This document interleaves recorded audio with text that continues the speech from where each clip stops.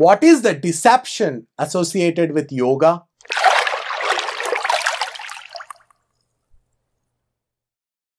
If you're a first time visitor, please don't forget to like, share, and subscribe as that will encourage us to do more incredible videos like this one. And please stay until the end for a special offer. There have been a lot of lies that are being spread about yoga, not just in the religious circles, but also, to my surprise, even in the corporate circles of the American society. It is literally everywhere. They are propagating that yoga is a set of spiritual stretching exercises that unite the body and the mind. This itself proves that anyone can take any word of their choice and twist it into anything they want others to believe in.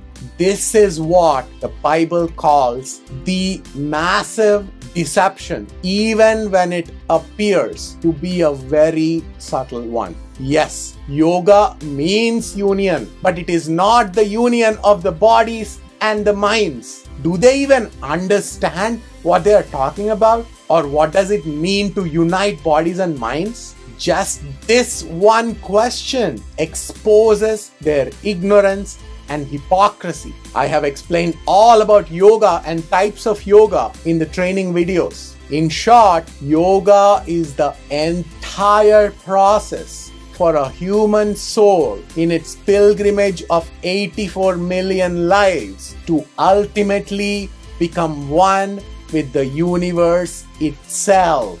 Hence, yoga is the union of a human soul with the universe which the Hindus call the Supreme Soul. It is the process of union of a Jivatma, the living soul, with its Paramatma, the Supreme Soul. Hence, none of you should have anything to do with yoga. Please remove yourselves from all practices of yoga. Otherwise, even you will be sucked into its massive deception. If you need to exercise, then do some stretching. But please do it in your own private space. And please don't call it yoga. It is necessary for us to disassociate ourselves from all forms of yoga as it not only helps us in our walk with Christ, but also we will not be that stumbling block to the new believers of Jesus Christ. So please keep that in mind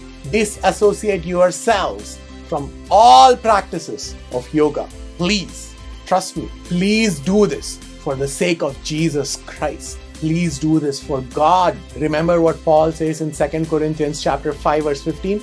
We are to no longer live lives for ourselves, but for him who died for our sake and rose again from death. Now it is time for the offer.